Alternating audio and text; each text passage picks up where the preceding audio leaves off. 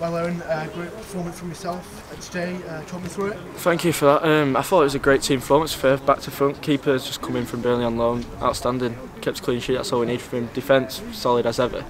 Midfield worked hard, and our front line we just well worked well together.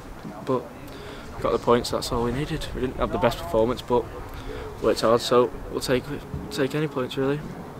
Uh, you're back in the side after uh, a few weeks out due to injury, and now you've suddenly got Ollie Sturzik coming through, uh, White, uh, Ollie Wood, uh, both fighting, and uh, Mitch George as well, in from loan from Burnley, all vying for your spot.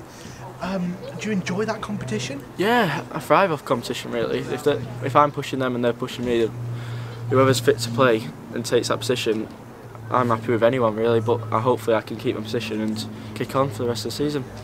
And finally, uh, you're coming to the end of your time here at Clitheroe. Uh, what have you learned and uh, how have you grown as a player during your time? It's my first real spell in men's football, really. And it, has been brilliant, really. If I can't thank Clitheroe enough, really. But I've grown up as a player, really. How I used to be, I've still got it in me. I get yellow cards everywhere, but I need to kick, get that out of my game. But it's all part of football. Men's football is a lot different to youth team football. Like last year, I could bully centre halves at my age. But now going into men's, it's, it's a lot harder to do that. So been a good loan spell to be fair. Brilliant. Thank you very much for your time. Thank you.